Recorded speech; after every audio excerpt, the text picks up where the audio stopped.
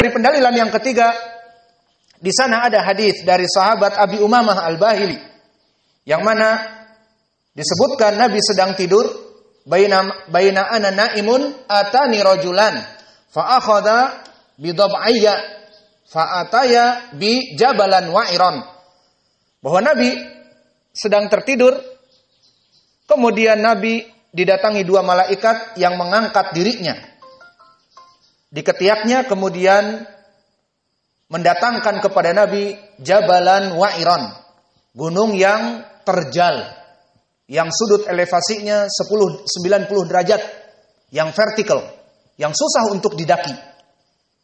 Faqala Is'ad, fakultu inilah atiq.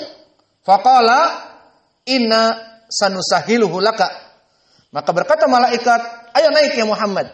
Dikatakan aku tidak mampu. Maka berkata kedua malaikat, kami akan membawamu, membantumu. Tapi, tapi kamu memanjat. Fasa itu hatta idha kuntu fi sawa'il jabal idan bi aswatin syadidah.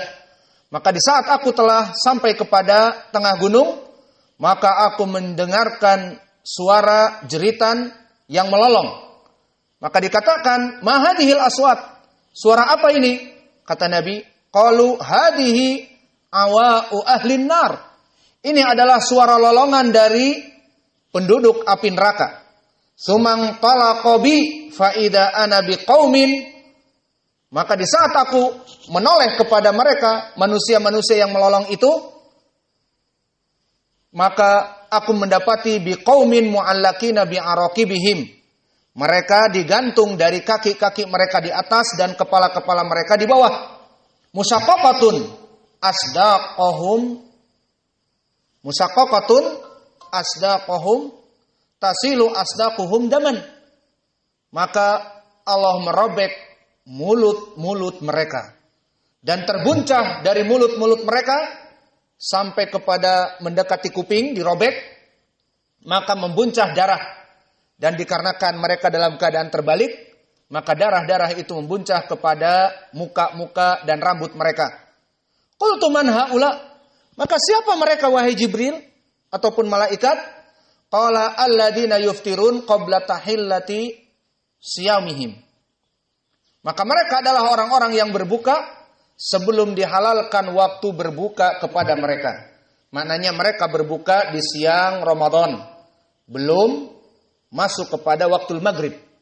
Maka hadis ini hadis yang menjadi tarhib, menjadi peringatan, beware, caution bagi mereka orang-orang yang berani berbuka puasa dengan sengaja di siang Ramadan, maka kelak akan diadab, berhak untuk diadab di api neraka dengan dibuncahkan, dipecahkan dari, dirobek dari mulutnya sampai kepada mendekati telinga dan digantung, maka akan membuncah darah kepada wajah-wajah mereka iya dan billah.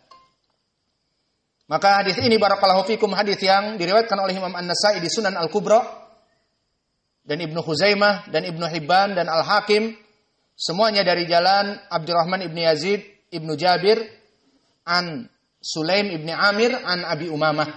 Maka semua rijalnya thiqat dan telah disahihkan oleh Al-Hakim dan juga Al-Haythami dan bahkan telah disahihkan oleh dua muhadis zaman now.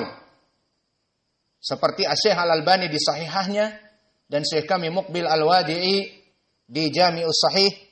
Maka inilah dari At-Tarhib. Bagi mereka orang-orang yang berani meninggalkan puasa Ramadan dengan sengaja, maka ini azab yang perih dan pedih.